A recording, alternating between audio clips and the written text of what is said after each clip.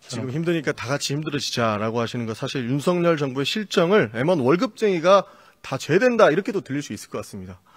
다음, 윤석, 다른 질문 윤석열 하나만 정부는 지금 3개월입니다.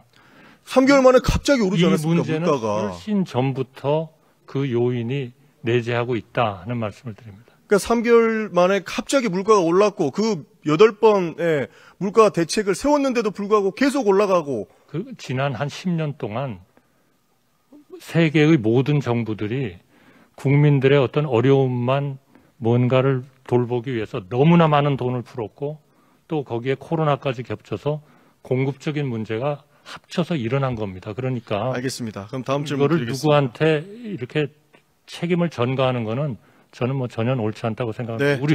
우리 모두가 같이 조금씩 인내하고 같이 문제를 해결하기 위해서. 해야 된다고 생각합니다. 어, 윤석열 정부가 내년도에 나라를 어떻게 이끌어 나가겠다라는 의지로 예산안 제출하시지 않습니까? 네. 네, 좋은 예산안을 만들어지려면 올해 경제 상황, 지금 상황에 대해서 올바르게 진단이 되어야 된다고 생각해서 물가 관련된 질문 하나만 드리겠습니다. 어, 총리께서는 오랫동안 관제에 계셨는데 IMF 그리고 2008년 글로벌 금융 위기 이후 등 어, 우리 경제가 이렇게까지 힘든 때가 있었습니까?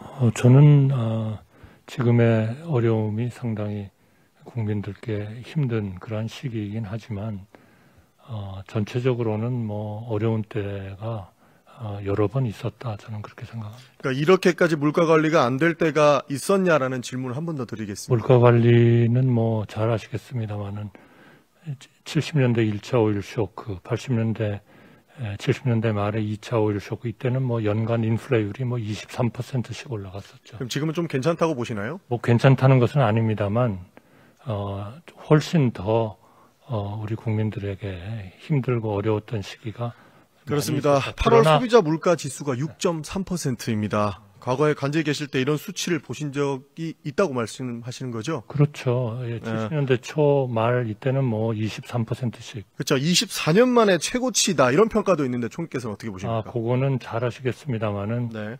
어, 우리 그 아시아 외환위기 그리고 저 전 세계의 금융위기 이런 때부터 결국 이 물가가 기본적으로 stagnation 내지는 어, 이 stagnation에 가깝도록 그렇게 에, 총리님 제가 안정화된 시기가 많이 있었어요. 말씀이시는 안데 제가 직접 장을 봐왔습니다. 여기 보시면 지금 딱 5만 원치 장본 겁니다.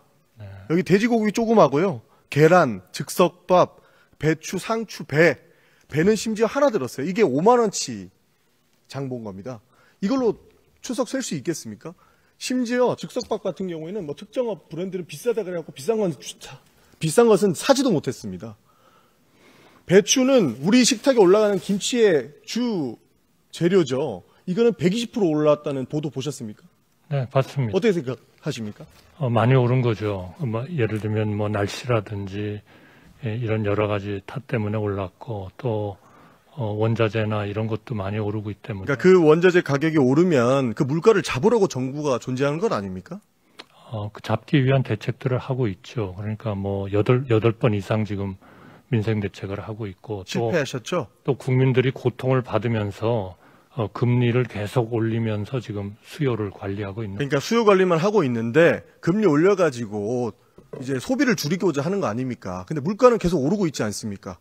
여덟 번이나 시도하셨는데 그러면 실패했다고 봐도 되겠습니까? 아니 그러니까 물가라는 건 뭐 의원님 너무 잘 아시겠지만 한 번 오르면 내려가는 것이 상당히 좀 일종의 좀 시간이 걸리는 거죠. 총리님께서 더 잘하시겠지만 어, 대외 변수는 어느 정부나 항상 있었, 있었지 않습니까? 그렇습니다. 사실 문재인 정부에서도 어, 코로나 감염이 심각해서 공장이 셧다운되고 상품 공급이 부족했고 수요는 급격하게 얼어붙었었습니다. 그러니까 물건이 부족해서 물가가 당연히 급격하게 올라야 되는데 그래도 관리 잘했습니다. 그러니까 문재인 정부만 잘했다고 얘기하는 것이 아니고요. 박근혜 정부도 메르스 대유행 당시 물가 관리는 이렇게까지 실패하지 않았습니다. 그 우리 대통령께서 가장 쿨하다고 생각하시는 2008년 글로벌 금융위기 당시 이명박 정부도 이 정도로 물가 관리가 안 되지는 않았거든요. 근데 왜 이렇게 물가 관리가 안 되는 겁니까? 이거는 이게 지금 한 해 두 해의 문제가 아니고요. 또 우리만의 문제도 아니고 저는 뭐 우리만의 문제라고 해서 그 우리의 책임을 회피하고 싶은 생각은 전혀 없습니다.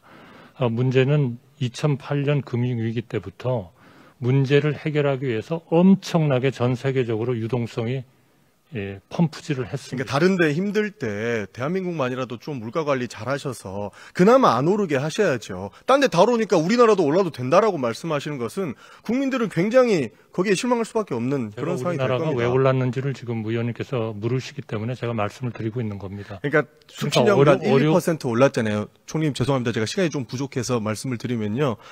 숲신년간 1, 2%로 안정적으로 상승한 상황이셨지 않습니까? 근데 지금 갑자기 이렇게 8% 오르고 갑자기 세계 여건이 다 바뀌었죠. 그래서 우리도 오를 수밖에 잘 없는? 상황이다 이렇게 보시는 거죠? 아니 그러니까 그거를 다른 대책은 없으십니까? 그러면? 대책을 하기 위해서 지금 여덟 번 이상 대책을 하고 있는 거죠. 네. 사실 제가 이 질문을 드리는 이유는 무엇이냐면 경제부총리께서 얼마 전에 어 우리 PPT 한번 띄워주세요. 경제부총리께서 사실 월급 인상 자제하라라고 말씀하신 적이 있습니다. 우리 한국경영지도총협회 가셔서 과도한 임금 인상은 고유가 상황을 심화시킬 뿐만 아니라 대기업과 중소기업 간의 은근 격차를 확대해서 중소기업 근로 취약계층의 상대적 박탈감을 키우고 사회적 갈등을 증폭시킬 우려가 있다. 월급 너네만 올리지 마라. 라고 이야기하셨습니다. 그러니까 국민들께서는 월급 빼고 다 오른다라고 이야기하고 있습니다. 물가 관리 안 되고 월급은 올리지 말라고 하고 이러니까 속이 터지는 거 아니겠습니까? 저는 국민들의 어려운 입장을 충분히 이해하고 또 국민들께 그렇게 인내해 주십사고 어, 말씀드리는 정부의 입장도 어, 상당히 좀 어려운 그런 입장이다라는 물가 잡으라. 하니까 월급쟁이만 그러나- 잡고 있지 않습니까? 그러나 의원님 잘 아시다시피 이렇게 물가가 공급 수요 측면에서 올 때는 모두가 자기의 부분을 좀 희생을 해야 됩니다.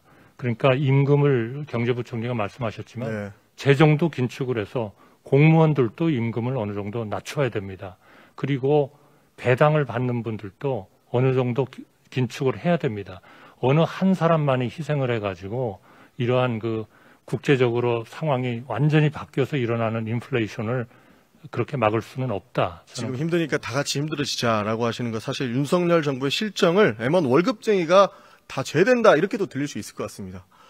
다음, 윤석열, 다음 질문 하나만 정부는 지금 3개월입니다.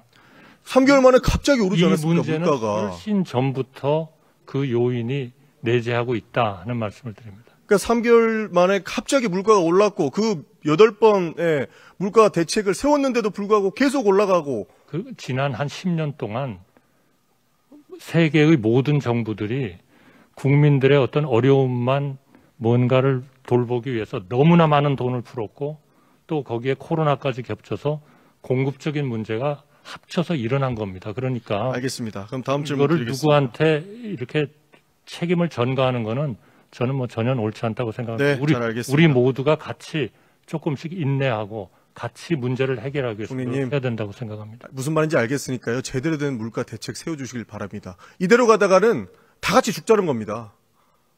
네, 열심히 하겠습니다. 알겠습니다. 최근에 다소 그러면 조금 하나만 드리겠습니다. 그 우리